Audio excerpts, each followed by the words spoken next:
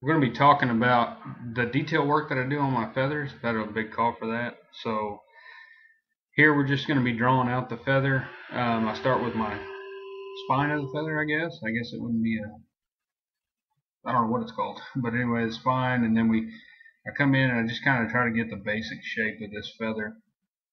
Um, I like to put some splits in it. You know, a feather, each fiber is supposed to be attached to the next and keep it in whole, but I kind of give it a little bit of little bit of chaos there and just kind of separate some parts and then have some of the lower ones kind of separated a little bit. And I'm drawing this feather with just an 8B graphite art pencil. Um, you can you can buy these graphite pencils at Hobby Lobby or wherever. Then I'm just going to wet this piece of leather down just a little bit. And uh, you can see there, I've just kind of sprayed it real quick for this for this deal, and then get that feather carved. Um, and I don't erase any of the lead. I have a lot of call asking about what I do and why, or what I how I get rid of the lead on there. I, I don't really worry about it. Um, by the time I'm done with the project, you've wet that piece of leather down so much, you've wiped oil on it, you've wiped antique on, and then wiped it off, and that by the time you get done, the lead's gone. So um, if you're worried about it, you can take just a clean white eraser and just erase, um, just like you would on a piece of paper. It'll come right off. So we got our feather carved right there. I'm going to go ahead and bevel this feather and get all the beveling done uh, just to save a little bit of time in this video. And so as soon as I get that beveling done, then we'll be right back with a beveled feather.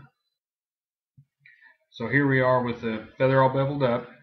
Um, I'm using a tool from Peter Main. It's just a, uh, a modeling tool. He does a really good job of making them. I really, really like that tool. Um, I think they're 40 bucks or something. And I've already leaf lined this feather. So there's already the just like you would a normal leaf or anything else, running your leaf liner down that spine. And now I'm just going to take the sharper end of that modeling tool and just start scratching the actual feather face and just and I'm going in arcing motions coming out of the spine towards the edge and try to think of a real feather. Those fibers point in a curvature kind of upward towards the the tip of the feather. And so I'm going to kind of give all those little lines that kind of upward motion gradually working their way to the point of the feather or the very tip of the feather. And so that's what I'm doing there is just I'm just scratching the surface, just trying to get a little texture so that it doesn't look smooth.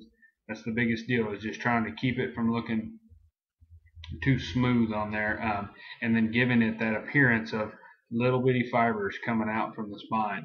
You're just going to scratch and scratch all these in there. Um, you don't have to get real deep or real crazy. Let your hand kind of flow. Just just do it real lightly, um, enough to leave an impression, but not enough to really damage the grain of the leather. Um, and I just kind of go until I think it's got enough texture to it. Uh, there's really no right or wrong way, I don't think, to do it. Some people may have a different way of giving it this look. But as you can see, that feather doesn't look smooth. And that's what we want. Um, you don't there's no pear shading done or anything like that or at least I don't and so you got to do something to give it some texture.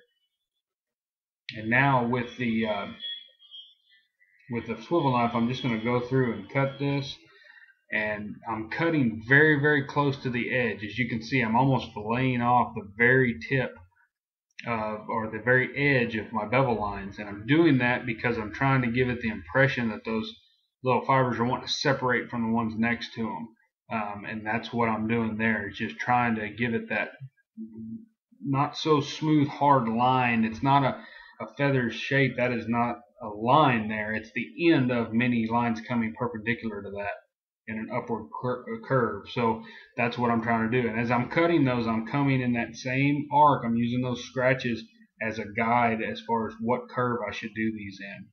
And so that's what we're going with there. And then I'm just giving it some little flicks here and there, just some real arbitrary, random little cuts in there. And as you can see, that gives it a lot of life looking right there. And it gives that feather a, a more lifelike feel and doesn't look like a hard beveled object just in a piece of leather. Um, there's probably many techniques to make this better or, you know, do it better. Um, it's just that's the technique that works for me. I'm constantly working on changing that, but anyway, give that a shot. Uh, if you got any questions, email me. Um, I've got some patterns on the website that do have feathers incorporated into them. It's like belts and stuff like that. So um, check that out. Go to dgsaddlery.com and check those out if you get a chance. I appreciate it, and we'll try to do some more of these videos in the future.